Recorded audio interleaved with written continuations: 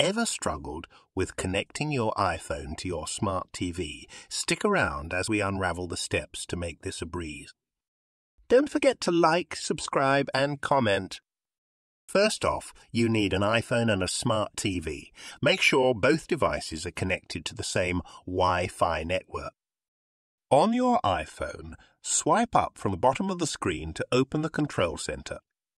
If you have an iPhone X or later, swipe down from the upper right corner. Look for the screen mirroring option.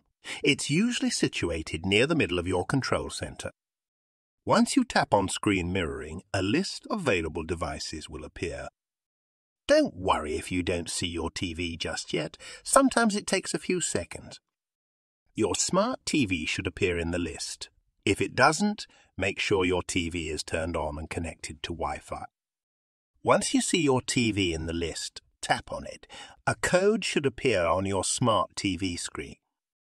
Enter this code on your iPhone. This is to ensure that you're connecting to the correct device. Once you've entered the code, your iPhone screen should now be mirrored on your smart TV.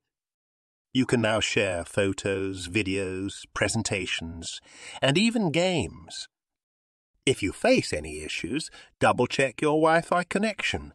Both devices should be on the same network. Also, make sure your iPhone and smart TV have the latest software updates. Outdated software can sometimes cause connection problems. If you're still having trouble, try restarting both devices. A simple reboot can often solve a lot of technical issues.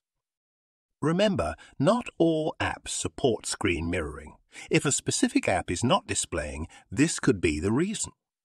Apps like Netflix and YouTube have built in casting options. You can use these instead for a better viewing experience. For YouTube, start by opening the app on your iPhone. Look for the cast icon, usually found at the top of the screen. Tap on the cast icon. A list of available devices will appear. Select your smart TV from the list. Your YouTube video should now play directly on your TV. For Netflix, the process is quite similar. Open Netflix on your iPhone and start playing a video. Tap on the cast icon. It's usually located at the bottom right of the screen.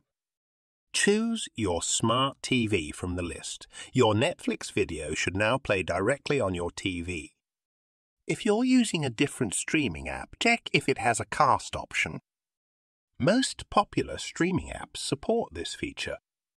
Connecting your iPhone to your smart TV isn't complicated, right? With a few taps, you can enjoy your favorite content on a bigger screen. Thank you for watching this tutorial. Please like, subscribe, and comment if you found this video helpful. Your support helps us create more content like this. It's greatly appreciated